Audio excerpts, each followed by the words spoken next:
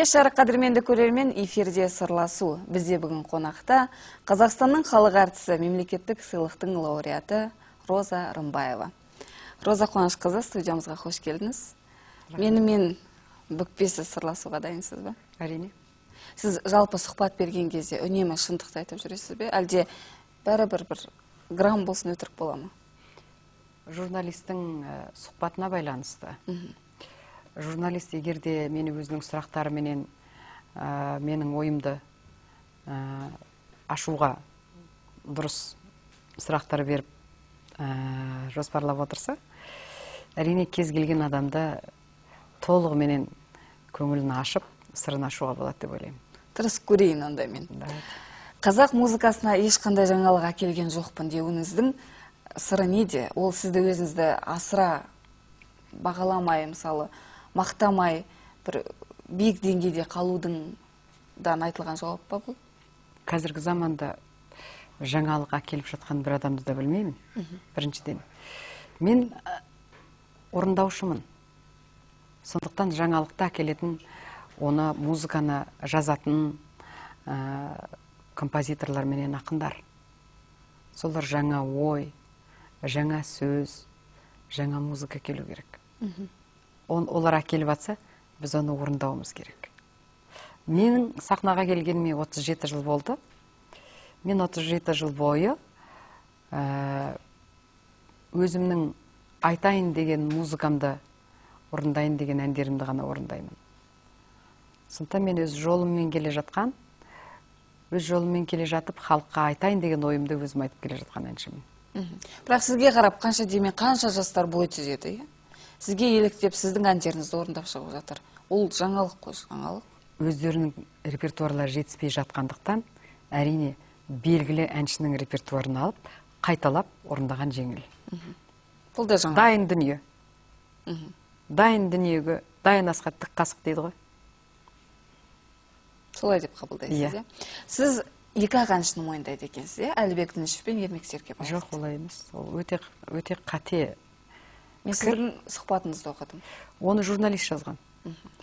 Мен үшін бала кезімде әсер қалдырған мен алғашқы алматыға келгенде әсер қалдырған әншілер әлібек дінішев пен ермек серкебаев иә.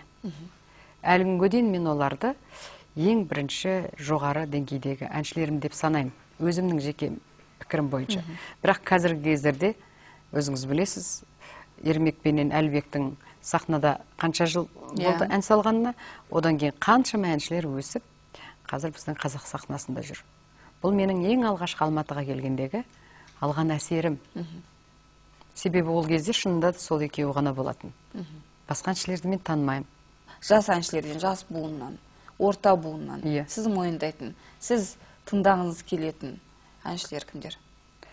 Ә, көбінесе классикалық әншілер деп айтар едім. Оның себебі мына жасым өсе келе эстрададан гөрі көбінесе классиканы тыңдаған жақсы көремін.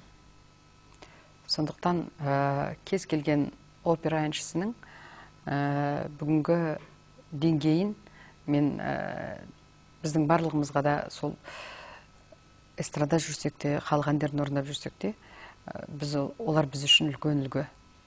Сондай әнші болуға сондай дауыспенен сондай репертуарменен сондай диапазонмен жүруге талпынуымыз керек. Сіз талпынасыз иә? Әрине. Қазақтың примадоннасы деп айтады иә сізді? Осы атақ сізге лайық па? Ә, қазіргі кездерде ә, қазақ сахнасындағы жүрген жастардың арасында енді менің жасым да үлкен тәжірибем де көп. Мен сахнаға шыққаныма 37 жыл уақыттың қалай зымырап өткен? Менен үлкен менен көбірек жүрген бір екі әнші болса болар ең ересегі мен болып тұрмын ғой қазіргі кездерде. Енді ескендір ағамызды атамай ақ қояйық ескендір ағамыз ол композитор ретінде. Сіздің атыңыз бен мақпал жүнісованың есімі көбінесе аталып жатады иә? Содан кейін мынандай да сөздерді форумдардан байқадым. Қазақтың қазіргі примадоннасы кім? Рымбаева ма жүнісова ма? Қайсысы қазаққа жақын әнші? Мен ойлаймын қазақи әніменен қазақи тіліменен қазақи музыкасыменен халықтық музыкаға жақындау әрине ол мақпал. Ал енді халықаралық деңгейде көп гастрольге шығатын ә, қазақстан деген кезде ресейде болсын жапонда болсын түркияда болсын ә, германия беларусь. Мен кейінгі барған мемлекеттерімді айтып жатырмын да ол кезде көбінесе жүретін мен сияқтымын. Қазақтың примадоннасы деп деп атайсыз сізді осы атаққа осы дәрежеге сай сіз қандай жұмыстар жасай алдыңыз жастар үшін? Мысалы ә, ресейде примадонна деп пугачеваны атаймыз иә атайды. Иә. Ол қаншама жастарға мысалы бағыт бағдар сілтеп бір үлкен бір жобаларға қатыстырып әйтеуір алып шығып жатады. Мен ә, ондай проектілер телевизионный шоу жасап пугачева сияқты жаңағы конкурс жасап ондай ешқандай ондай менің жоспарымда жоқ. Жалпы мені кез келген осы өтіп жатқан конкурстың барлығына жюри ретінде шақырады. Әрине мен жюри болып отырғаннан кейін председатель ретінде шақырады. Ешқашанда ондай конкурстарға күнделікті барып қатысып отыратын менің уақытым жоқ. Ал екіншіден ә, ресей примадоннасының атын көбінесе пайдаланып соның авторитетін пайдаланып конкурсқа әрине ерекше бір статус беру үшін жасайды. Себебі ал пугачевадан асқан жұлдыз жоқ. Маған да осындай ә, ұсыныстар көп келеді бірақ ешқайсысына мен жюри болып отырғым келмейді. Біріншіден. Мен ең бірінші менің жастарға беретін ә, жастарға беретінім менің. Мен ұстазбын. Оқығыңыз келе ме? Кәсіби білім алғыңыз келе ме? Түсіңіз менің оқуыма. Менен сабақ алыңыз. Менен диплом алыңыз. Менің айтарым сол. Астанада өнер академиясы ашылды. Иә маған мені шақырдаймын. Неге келмедіңіз? мен өзімнің академиямда бітірген өзімнің профессорымменен өзім өз академиямда сабақ беремін сіздің шәкірттеріңіз мысалы рымбаевадан бестік алу қаншалықты оңай? Бізде оқудың программасы бар. Ол программаны дұрыс орындап шықса неге бес қоймасқа? Сіз ә, сіз жалпы аудиторияға қай Иә. аудиторияға басымдық бересіз? Екі аудиторияға да бірдей. Бөліп жармайсыз. Мен жақында кемерово қаласында амантөлеевтің шақыруыменен төрт концертім болды. Ә, с- ол қалада бірде бір қазақ көрмедім. Себебі ол жақта қазақ жоқ. Мысалы ол жерде 90 проценті әндерімнің орыс тілде болды. Себебі тыңдаушы жоқ көрермен жоқ. Көрермен орыс орысша. Таза 100 процент орысша концерт бере аламын. Сөйлесемін де орыс композиторларын орыстың классикалық шығармаларын да орындай беремін. Таза қазақ көрермені бол- болған кезде мысалы бізде қай ауылға барсаң да ауылдың өзінің құрамына қарайсың. Кейбір ауылда елуде елу орыспен араластырады кейбір ауыл таза қазақ ауыл. Әрине ол жерде таза қазақша. Менің екі тілде бірдей ә, сөйлей алатын құдайға шүкір жағдайым бар. Розаны сағынып барғанымен концерттен шығып кетіп жатырмыз деп әжелердің бір екі интервьюінде көрдім мен. Мен ойлаймын ә, келешекте мен ә, афишама жазуым керек. Концерт тек қана қазақша болады деп. Сонда орысың да басқа ұлтың да орыс тілі қазағың да менің концертіме келмейді. Концертіме таза қазақ келеді. Бірақ мен ондай концерт бергім келмейді. Неліктен. Ең бірінші мен үшін музыка. Мен итальян тілінде орындайын ағылшын тілінде француз тілінде орыс тілінде қазақ тілінде орындайын. Мен үшін ең бірінші менің көрерменім менің әнімді менің даусымды менің музыкамды тыңдауға келу керек. Деп ойлаймын. Және де менің бұл концерттерімді тек қана біздің қазақ көрермен емес бұрын мені совет одағынан келе жатқан тыңдап келе жатқан көрерменім. Қазіргі егеменді болып кеткен, ә, көршілес мемлекеттер тіпті шет елде жүрген біздің қазақстандықтар тек қана қазақ емес. Қазақстандықтар барлығы да тыңдайды. Сондықтан мен тек қана өзіміздің қазақ тілімізде емес концертімді екі тілде жүргізген дұрыс деп санаймын. Және де біздің мемлекетіміз біз көп ұлтты мемлекетпіз. Мен тек қана қазақ қана әншісімін деп санамаймын мен қазақстанның әншісімін деп санаймын өзімді. Әрине ұлтым қазақ тілім қазақ менің 90 процент орындайтын әндерім қазақ тілінде. Концертте 30 процент 25 процент кейде орыс, орысша әндер болады. Онсыз болмайды.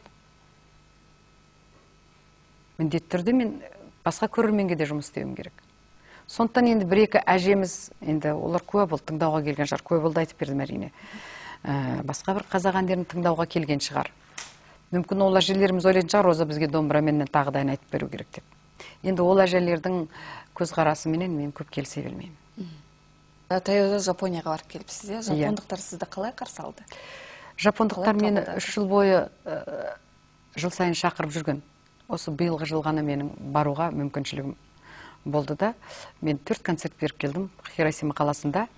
Олар менен осыдан төрт жыл бұрын танысып ә, семейдегі ә, антиядролық қозғалыстың ә, ескерткіші ашылып соған соның митингі болып соның сол ескерткіштің қасында мен концерт бергем сондағы ә, менің концертімді тыңдап телевизорға олар өздерінің NHK компаниясы келіп түсіріп ә, японияға семей ә, жалпы ядролық осы ә, қозғалыс туралы жалпы сол жердегі зардап шеккен абай ауданы абырал ауданы туралы және де ә, сол қозғалысқа байланысты жазылған ән заманайды жазып алып менің орындауымда өздерінің тілінде жапон хоры жапон әншілері орындап дискі шығарып жалпы осы антиядролық қозғалысты насихаттаған.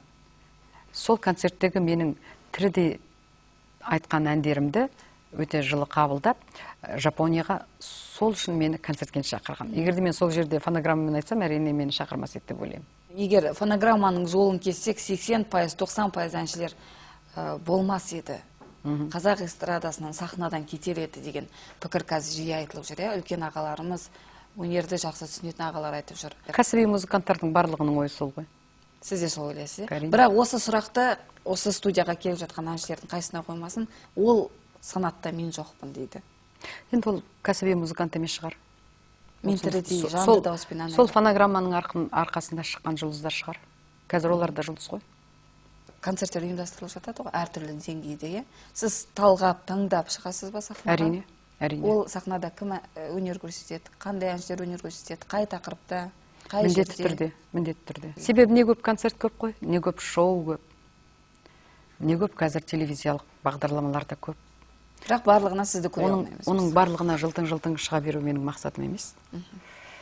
Ә, кейде уақытым да болмай қалады. Мен көбінесе гастрольдік сапарда жүремін. Сабағым бар бала шағам бар. Сіз ә, менің хоббиім мама. Болу депсіз иә себебі өмір бойы сахнада жүрген ана болғандықтан әрине жүз процент балаларыма көңіл бөлуге уақытым жоқ.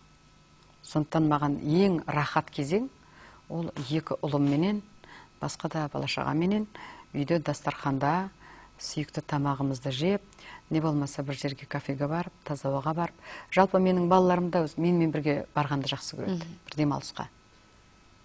Менің отпуск дейді ғой жазда әлгі демалысым. Ол міндетті түрде мен тек қана балалармен барамын. Ешқашан да мен бір курорттарға жалғыз өзім кетіп ә, көрген адам емеспін. Міндетті түрде. Гастрольге де балаларымды алып жүруге тырысамын біргеміз. Және де сахнаға да шығуға да болады. Себебі менің ұлдарым кәсіби музыканттар пианисттер әлиді мысалы қазір үлкен сахнадан көріп жүрміз. Иә. Жап жақсы өнер жаңа көрсетіп жаңа иә? бастап жатыр жаңа бастап жатыр жұлдыздар фабрикасына қатысты. Сол Иә. кезде мен сіздің әлимен сөйлескен ә, әңгімеңіздің куәсі болдым. Телефон арқылы сөйлестіңіздер сол кезде сіз айттыңыз әлиге әли сен кәсіби музыкантсың. Сен жеңесің бұл додадан сен ұтылмайсың дедіңіз иә? Ол қолдауым болған бірақ ә, біздің ә, сол болған лауреаттардың әли лауреат болмай қалып басқа болған лауреаттардың содан бері бір жыл өтті ме? Біреуін де сахнада көрген емеспін. Әли жүр сахнада. Себебі ол өзі фортепианода ойнайды пианист кәсіби. Өзі музыка жазады өзінің тобы бар инструменталдық тобы бар.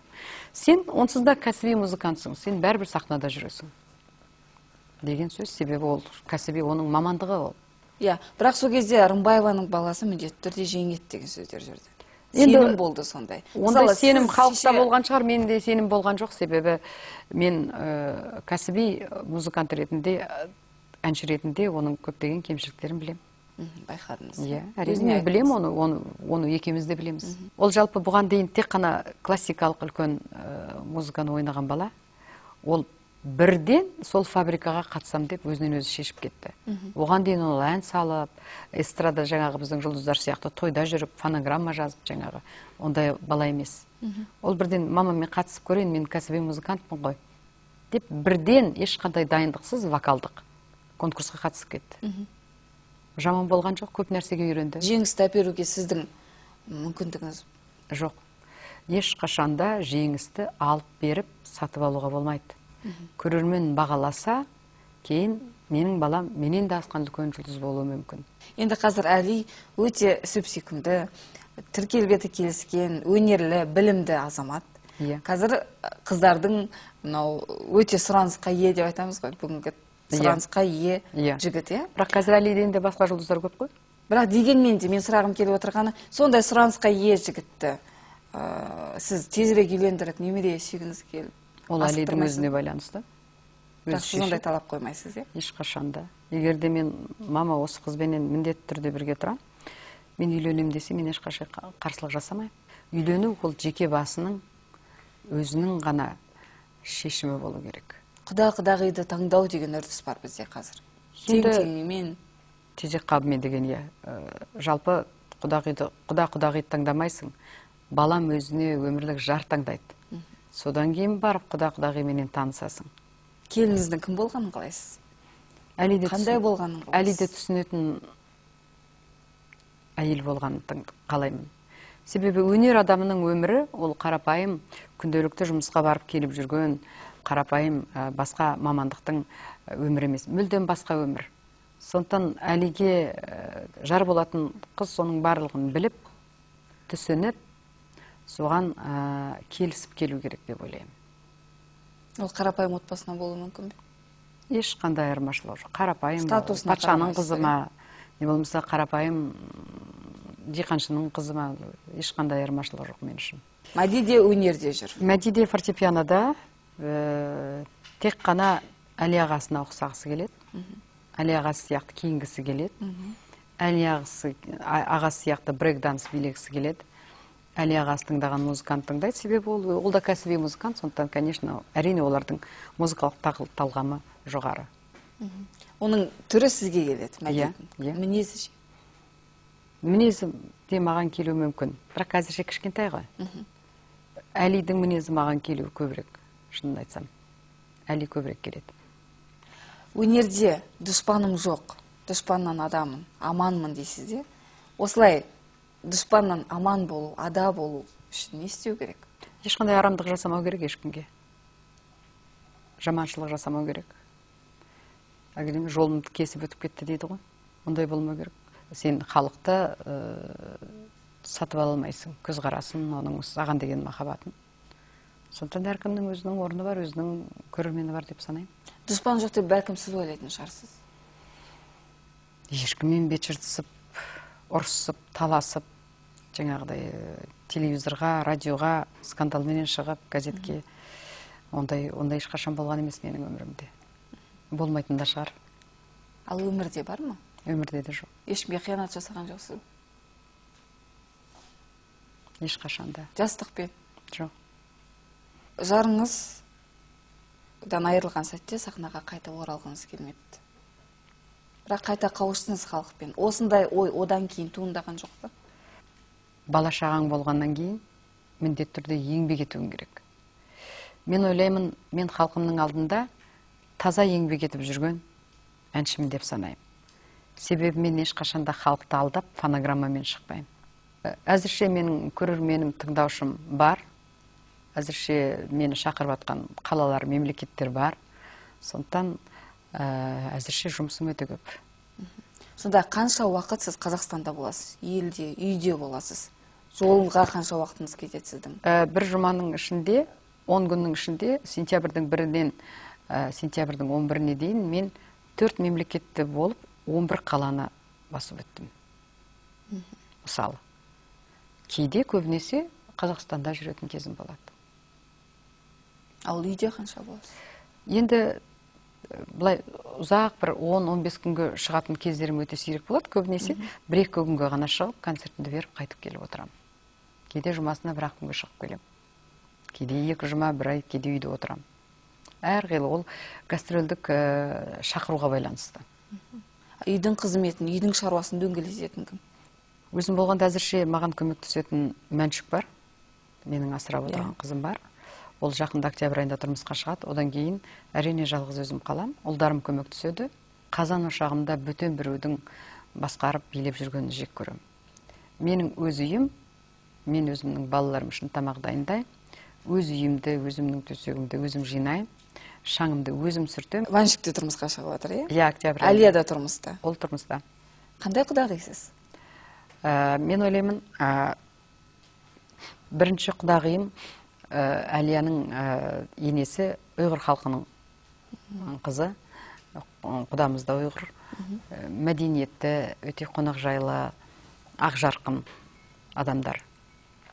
Олар бізді құда ретінде қазақ халқы ретінде қалай сыйласа мен де солай оларды ұйғыр халқы ретінде олардың дәстүрін олардың қонақжайлығын мен де өте қатты сыйлаймын.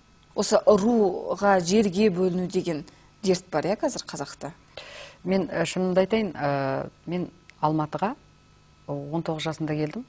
Соған дейін мен қандай ру екенімді қандай ел екенімді білмеппін де.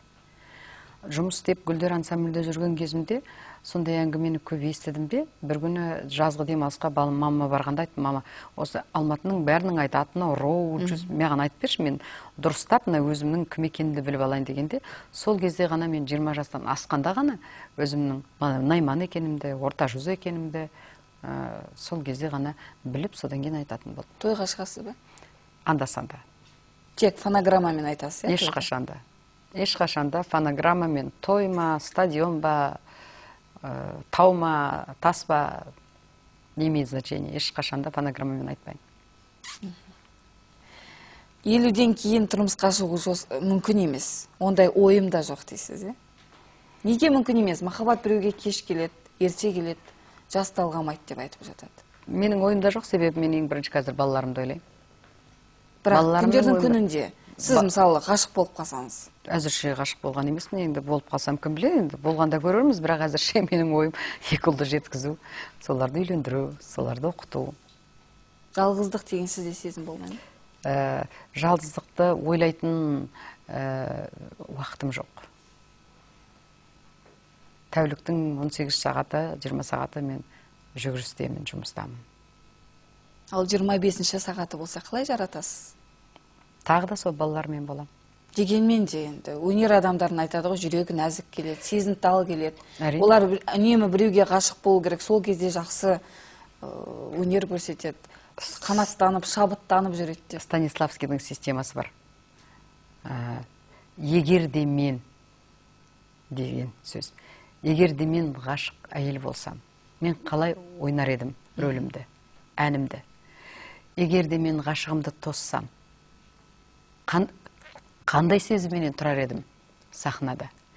Егер де мен ғашығыммен ажырассам қандай күйде болар едім? Егер де мен жесір әйел болсам мысалы рөлім жесір әйел болса қалай ойнар едім? Егер де мен бақытты ана болсам егер де мен деген заңдылық бар. Сол заңдылықпенен біз ойнаймыз сахнада. Ғашықтық сезімде де ойнаймыз қайғыны да ойнаймыз қуанышты да солай ойнап береміз. Біз образға кіреміз. Егер де мен деген системамен ол кәсіби орындаушылардың кәсіби әртістердің негізгі вот сол системамен ойнайды. Сіз көршілеріңізді жақсы танисыз ба? Араласып құраласыз ба? Жоқ менің көршілерім жиі ауысып тұрады. Менің үш көршім бар. Біресе біреу кетіп біреу келіп жатады басқа бір иностранецтер келіп жатады көршілерім өте жиі ауысып тұрады. Бұны сұрағаным ақтаулықтар ә, 300-ден аса ақтаулық сізбен көрші болуды армандап бір құрылысқа үлескер есебінде Иә. ақша салып Иә. үй алғысы келіп содан ә, ар жағы белгісіз болып қалды иә Иә. сіздің жарнамаңызды көріп сізбен көрші болуды армандаған мен де сол жерден үш бөлмелі үй алуым керек болатын сізге сол жандардың көбі өкпелі екен енді ол менің компаниям емес қой сол тұтынушылардың бірі ә, тұтылып қалғандардың бірі менмін. Алматыда да казкоммерц инженеринг элимай компаниясы да мен де ақшамды қосып алдап кеткен компания сол, сол солардың бірі менмін алданған адамдардың бірі менмін. Менен емес оны құрылыс компаниясынан сұрау керек. Негізі құрылыс компанияларымен сіз жақсы жұмыс істейсіз? Жоқ. Э, ешқашан да жұмыс істеген емеспін. Себебі балалар өсіп келе жатқаннан кейін әрине бір материалдық база болу керек. Сол үшін ұтылғанда күндерім болды тұтылғанда күндерім болды. Көбінесе тұтылғандардың бірі менмін. Ал енді аплтау деген компанияға иә қазір ақшамды салып иә ол үйді түгел төлеп біттім. Ол әлидің пәтері болады форбстың байлардың Иә. форбстағы байлардың тізімінен сізді қашан көруіміз мүмкін? Ешқашан да неліктен? Мысалы қаншама елдерді аралайсыз мысалы концерт бересіз? жыл бойы тапқан табысым менің көбінесе өзімнің үлкен концертімді өткізуге қаржы сол, сол концертке жиналады. Одан кейін біз клип түсіреміз. Оны бір ә, біраз ақшаға түсіреміз енді әрине. Мысалы аққу деген клипімді көрсеңіз ол бір қырық мың долларға түскен клип. А одан кейін оның ротациясы бар. Әрбір ротацияға 5 мың доллардан төрт каналға берсең айына 20 мың доллар оған төлеуің керек. Сізге мықты қолдаушыңыз жоқ па жоғарғы жақта? Жоқ шынымды айтайын. Болса жақсы болар еді бірақ жоқ. Себебі сүймегеннен кейін ол э, қалай енді ондай э, қатынасқа барасың? Менің ойымша егер де мен сүйіп қалсам егер де ол кісі мені сүйіп қалса егер де ол кісінің семьясы болмаса бала шағасы болмаса мүмкін кездесіп қалармыз. Әзірше ондай ешқандай адаммен кездескен емеспін. Роза ханымның туған туыстары қандай деңгейде өмір сүріп жатыр? Қаншалықты сіз оларға көмектесіп жағдайларын жақсарта алдыңыз? Мысалы биылғы жылы менің ә, бауырымның қызы тұрмысқа шықты және де ағамның ұлы үйленді. Бауырым мектепте қарапайым мұғалім. Әйелі үйде жұмыс істемейді. А, ағам инвалид жүрегінен пенсияда. Жеңгем сол ағама қарайды. Әрине олардың той өткізетін ресторандатып құдалық жасап жаңағы э, тойлайтын ешқандай жағдайлар жоқ материалдық. Сондықтан ондай біздің семьядағы ә, материалдық үлкен үлкен ә, проекті дейді ғой енді қазіргі тілмен айтқанда. Той үйлену пәтер сатып алу қызы тұрмысқа шығу оның барлығы менің мойнымда. Менің әке шешем 87-ге келді. Әкем де шешем де тірі құдайға шүкір. Менің қарамағымда мен оларды кейінгі 20 жыл бойы алматыда өзім қолыма алғам. Ә, екеуі бөлек тұрады. Бүкіл ас суы дәмі бүкіл олардың өмірдегі бүкіл қажетті дүниесінің барлығын мен, менің мойнымда. Тектіден текті туады дейді ғой. Менің ә, мамам әкем де шешем де бір бастауыш класстарды ғана бітірген. Былай айтқанда қарапайым ауылдың адамдары. Әкем қырық жыл бойы балға соғып теміржолшы болған. Шешем балаларды баққан себебі ол жерде басқа жұмыс болмаған. Әкем қарапайым жұмысшы бола тұра балалардың өнерге талпынғанын шешем әнді өте жақсы айтқан кісі талпынғанына өте қуанған. Мен бала кезімде музыка мектебіне барсам да музыка училище түссем де қызым өнерде жүр деп өте бақытты қуанып жүретін. Сізден өзге өнерлі менің семьямда өнерде үш бала. Үш ә, менің сіңілім менің институтымды бітірген актер шеберлігін. Менің ағам өнер институтын бітірген ол баян музыка пәнінен мұғалім. Және де мен өнер академиясын бітірген. Олар да қазір өнер саласында жүр иә? Иә ағам, ағам пенсияға жақындады алпыстан асты сіңілім бала шағамен үйде отыр әзірше. Ол жалпы сахнаға шықпаған бірақ өнер өнер академиясын бітірген. Сізді біздің биліктегілер шенеуніктер қаншалықты жиі іздейді? Қаншалықты сізге жағдай жасап беруге тырысады талпынады жасай ма? Көбінесе өнер адамдары үлкен адамдар еленбей қалдым осындай атаққа өтейін деп тұрған кезде өткізбей қойды тізімнен сызып тастады деп айтып жатады. Жоқ мен енді оның барлығын құрмет атақтың барлығын мен совет одағы кезінде алғам. Ал қазіргі тәуелсіз елімізде? Қазіргі кездерде маған ешқандай атақтың керек жоқ.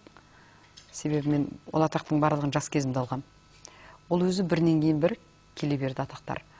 Ал енді қазіргі кездерде сенің өнеріңнің тыңдаушыңның болмауы атақтан гөрі. Сол ең бірінші жүректі ауыртатын жалпы өзіңнің орныңды білгізетін өнердегі. Сол деп ойлаймын. Егер де сенің концертің болмаса сенің тыңдарманың болмаса сені ешкім гастрольге шақырып жатпаса сенің өнеріңнің ешкімге керек болмағаны ол нағыз өліммен тең ғой. Сіз саясатқа қашан келуіңіз мүмкін? Нұр отан партиясының мүшесісіз Мен, Ә, халық қалауларының тізімінде болдыңыз иә депутаттыққа мен үш рет ұсынылдым. Иә. Мен үш ретінде де өзім барып бас тарттым. Себебі мен оған дайын да емеспін ондай ойым да жоқ ондай жоспарым да жоқ. Депутат болып парламентте отырып. Мүмкін жақсы депутат шығады. Мен ойлаймын нашар депутат болғанша жақсы әнші болғаным дұрыс шығар. Өнерді тазалау аттестация өткізу қазіргі өтіп жатқан мынау құқық қорғау органдарында аттестациялар өтіп жатыр иә? Иә бізде де осындай өткізу керек. Только фонограммамен емес тірі дауыспенен оркестрмен жұмыс еткізу керек. Осындай ұсыныс жасар едіңіз иә? Ешқандай ұсыныс жасамаймын. Мен өзімнің алдында өзімнің халқымның алдында адал болуым керек. Басқалардың немен айналысып жатыр? Фонограммамен айтып жатыр ма? Басқа жермен айтып жатыр ма? Менің ешқандай это меня абсолютно не волнует. Это их проблема. Сізді қай мінезіңіз үшін ұнатпайды? Тіктігім үшін шығар. Ал қай мінезіңіз қай қасиетіңіз үшін сізді бағалайды? Кәсіби маман ретінде өзінің орындаушы ретінде бағалайтын шығар деп ойлаймын. Ал сіз өзіңіздің артықшылығыңызды қай мінезіңізден көресіз? Менің артықшылығым өзгелерден артықшылығым осы деп. Адами. Мен э, ешкімнен өзімді артықпын деп санамаймын. Бірақ э, біреуге ұнайын деп біреудің көңілінен шығайыншы деп қылмыңдайтын әнші емеспін. Ешқашан да. Ұнатсаң ұнат ұнатпасаң ұнатпай ақ қой. Ал кемшілігіңіз неде? Кемшілік көп қой кемшіліксіз адам болмайды. Мысалы бірақ басты сіз күресіп жүрген жеңуге тырысып жүрген сіз үшін кедергі жасап жүрген. Сол тік мінездігім шығар. Күресесіз иә бұнымен аса күресем деп айта алмаймын. Егер де шынында да э, керемет бір дұрыс емес дүниені мен үндемей тұра алмаймын. Көріп тұрсаңыз міндетті түрде міндетті айтасыз түрде айтамын. Кім екеніне қарамайсыз. Әзірше енді министрменен не болмаса ана жақтағы жоқ парламентпенен кездесіп оларменен ә, ондай ә, кезеңге түскен кезім жоқ. Бірақ өз арамыздағы болған дүниеге ақты ақ деп қараны қара деп айтамын енді ол енді онсыз да ол айдан анық нәрсе ғой. Ал мынау үлкен отырыстарда өнер адамдарының бас қосуында сіз боласыз ба? Жалпы сондай бас қосуларды ұйымдастырмайсыз ба өзіңіз? Ешқашан да. Ешқашан да. Ондай тусовка деген бізде бір ә, модный бір дүниелер бар. Сондай тусовкаларға сіз шыға қоймайсыз иә көп көп ондай шуды өтірік күлкі ондай дүниелерді жек көремін неліктен сіз өнер адамысыз ғой енді өнер адамының да өзінің жеке өмірі болу керек қой. Біз онсыз да 90 процент өміріміз сахнада жүреді сол тусовкада жүреді. Айғай шудың ортасында шуылдақтың ортасында жүреміз. Керісінше өнер адамы көбінесе жалғыз өзі отырып ойланып өзінің ә, кәсіби жұмысымен айналысып көп ойланатын кездері көп болу керек. Өнер адамдарының арасынан достарыңыз бар ма? Көп. Достарым көп. Мен өнердегі жүрген азаматтардың барлығымен жақсы сыйластықтамын. Сәлеміміз дұрыс. Ал бүкпесіз боямасыз сырыңызды кімге айтасыз? Менің бүкпелейтін ешқандай сырым ешқандай бір секретім жоқ халықтың алдында. Кез келген менің концертім телевизордан көрсетіліп жатады өмірдегі жаңалықтарым. Сол менің күнделікті өмірім. Ешқандай бір керемет бір үлкен бір жаңалық болып өмірімде төбеден жай түскендей ондай дүние болған емес. Сіз мойындайтын композиторлар кімдер? Әр әншінің өзінің композиторы бар. Сондықтан менің де осы бірінші күннен бастап орындап келе жатқан композиторларым бар. Менің алғашқы композиторым сейдолла бәйтереков болса одан кейін талғат сарыбаев еркін ынтықбаев бақытжан қажымұқанов болат боранов бейбіт оралұлы көбінесе осы композиторларды орындаймын. Қазір жастардан бір керемет дүние байқап қалсаңыз көріп қалсаңыз сізге ұсынса орындайсыз ба? Жастардан ешқандай керемет дүние көргем жоқ. Талант тумысынан тәкаппар дейді. Сізде тәкаппарлық бар ма? Тәкаппарлық өнер жағынан өзіңнің өнеріңе деген өзіңнің принципің болу керек тазалығың болу керек адалдығың болу керек. Адалдық деген сол тәкаппарлық деген сөз сол. Ал былай келген кезде көп жандарға жоғарыдан қарайсыз ба? мен енді қанша дегенмен рымбаевамын білмеймін ешқашан да ондай ойыма келмепті. Жоғарыдан қарау керек пе төменнен қарау қалай қараймын солай қараймын. Кәдімгі адам сияқты. Бірден баурап әкетесіз бе? Бірден тіл табысып? Бірден тіл табысып шошаңдап шошаңдап қылмыңдамаймын егер адам ұнаса көңілінен шықса ол адамның мәдениеті маған деген көзқарасы дұрыс болса әрине мен де жан жүрегімменен ол адамменен шын, шын жүрегімменен беріліп араласамын. Бірақ бірде, бір қарағанға салқынсыз иә? Ә, жасым келді ғой. Мен енді кішкентай қыз емес- емеспін ғой. Бәріне қылмыңдап қара. Ой как вы все хорошие я такая же хорошая деп. өз өзіңізді күтудің бір құпиялары бар ма? Ешқандай құпия жоқ ешқашан да күтпеймін де оған айтып жатады ғой айран мен жуынамын ешқашан да жоқ ешқашан да күнделікті душ түбіңнен бастап аяғыңа дейін күнделікті душты қабылдайсың да жүгіріп жүре бересің. Спортпен де айналыспайсыз иә? Уақытым жоқ.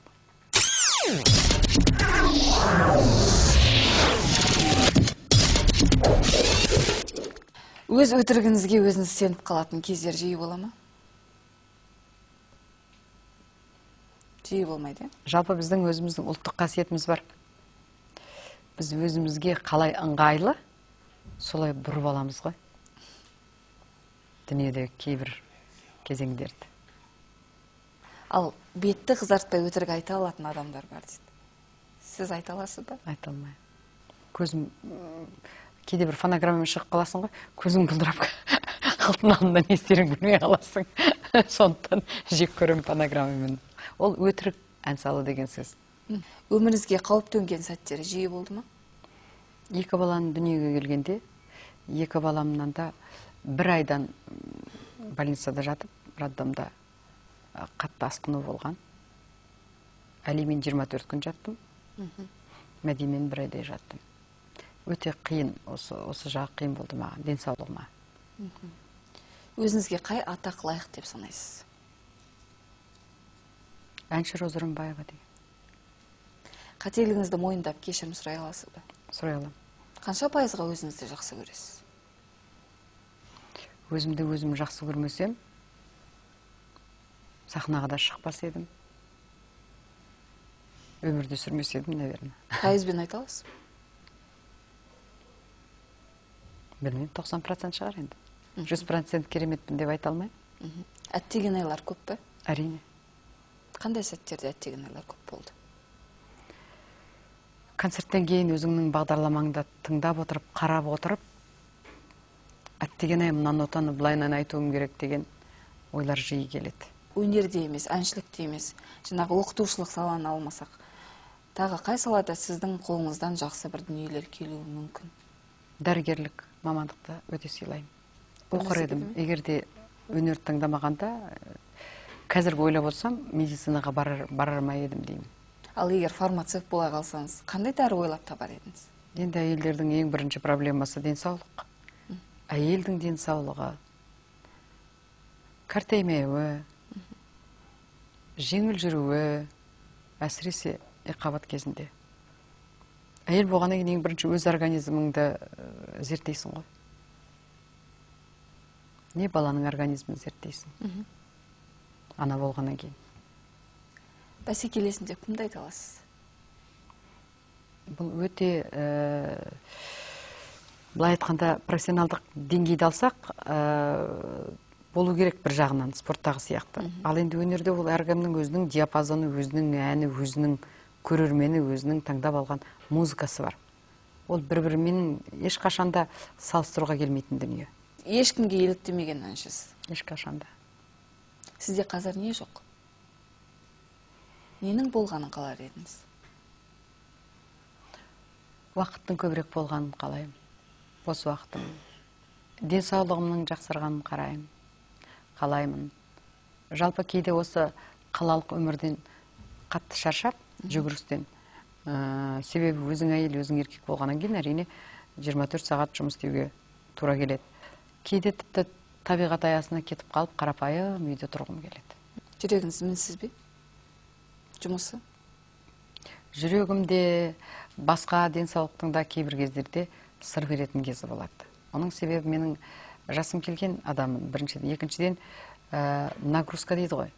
Біз өзіміз түрімізге қарамай әне күні мен он күн он күнде он бір қаланы өттім десем ә, елдер ешқайсысы сенбейді. А оның нагрузкасы оның денсаулыққа деген зияндығын енді оны санап санап даже санап болу мүмкін емес. Одан кейін келесі жылы сағат сегізде академияда ә, студенттердің алдында отырасың. Түні бойы ұйықтамай ұшып келіп. Көріңіз организмге қандай зияны бар? Сізге жұмыс істейтін арнайы топ жоқ па? мысалы дәрігерлер күзет? Жоқ жоқ. Дәрігерлер болғанда поликлиникаға барып тұрамын енді. Жеке дәрігерлер жоқ. Содан кейін күзет деген ешқашан да болған емес. Мүмкін керек шығар білмеймін енді. Мен жеке үйде тұрмаймын мындай үлкен жиырма этажда көп пәтерлі скворечник дейді ғой. Ондай алты үй тұр біздің үйіміздің айналасында. Жалпы өзім жеке басымда ешқашан да охрана дейді ғой оны. Ондай ұстаған адам емеспін. Мен не өз халқымнан өзім сонда охрана ұстап жүремін бе?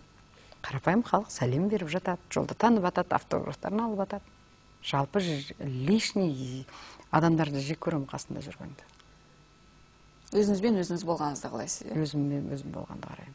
Роза қуанышқызы бізге уақыт бөліп келгеніңізге үлкен алғысымды білдіремін. Сізбен бұл біздің соңғы сырласуымыз болмасын. Талай сырларымыз айтылмай қалды ғой енді іште. Енді барлығын бір бір адамға ақтарып ә, және де сіздің сұрағыңызға да байланысты сіздің сұрақтарыңыздың барлығына мен жауап бердім. Жалпы жақтырмаған айтқыңыз келмеген ондай нәрселер болған жоқ иә? Енді адамның өмірінде өкініш көп қой. Мен ең үлкен өкінішімді сізге айтайын. Ол менің жолдасымның өмірден ерте, ерте кеткені. Мен сахнада 23 жыл еңбек етіп мен 23 жыл бойы осы күйеуімнің басшылығыменен ән салған адаммын. Соның айтқанымен жүріп соның әрбір сөзі мен үшін үлкен ә, ақыл менің ұстазым болған адам. Содан кейін міне қалған ә, 13 жыл мен жалғызбын. Мен сол күйеуімнің мектебіменен өскен адаммын.